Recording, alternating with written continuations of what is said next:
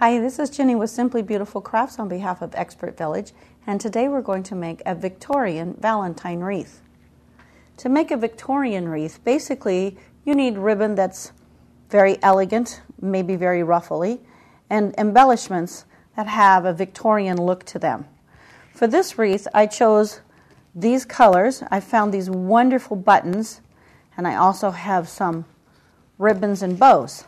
This was actually a Christmas ribbon, but it doesn't have to be for Christmas. It worked very well for this Victorian Valentine.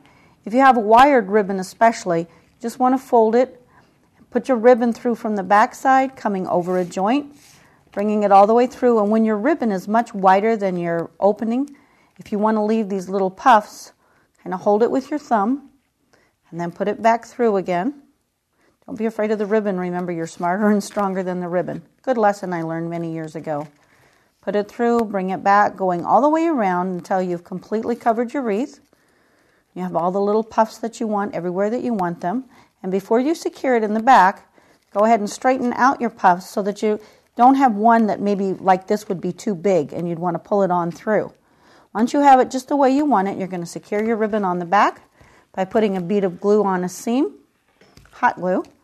You may have to fold or crease your ribbon so that it fits without showing from the front. Secure it for a few seconds and do it to the other side.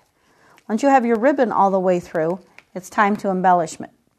On this one, I chose to put these two together and put one of them behind and one of them in front, giving it a little bit of a 3D effect. But you want to lay your embellishments around, play with them, get the balance that you want.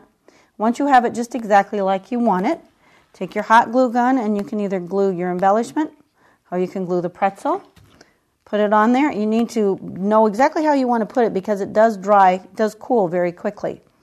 Then when you're finished, you can take some baby's breath or some little paper roses and put them around.